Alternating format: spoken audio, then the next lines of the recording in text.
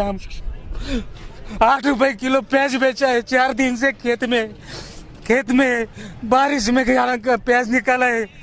बारिश से मजदूर लगा लगा के मजदूर को पैसा देने का नहीं। कहाँ से कर्जा लाऊं? मजदूर को देने को क्या खिलाऊं? क्या ले लो? घर को क्या खाने को लेके जाऊँ?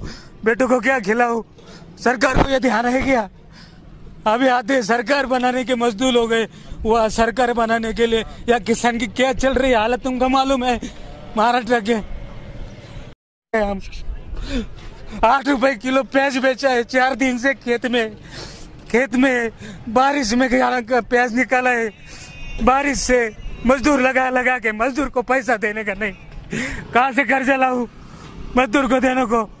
क्या खिलाऊ? क्या ले लो? घर को क्या खाने को लेके जाओ बेटों को क्या खिलाऊ? सरकार को यह ध्यान है क्या?